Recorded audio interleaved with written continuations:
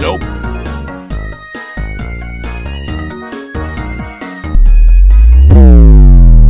What the fuck? Speak for yourself.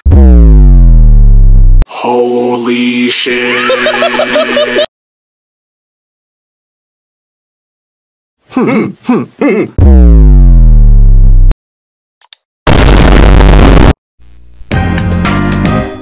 I give up, that's it.